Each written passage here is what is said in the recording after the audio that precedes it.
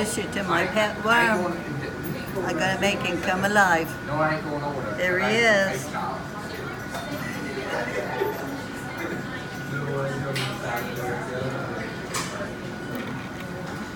Oh, there he is.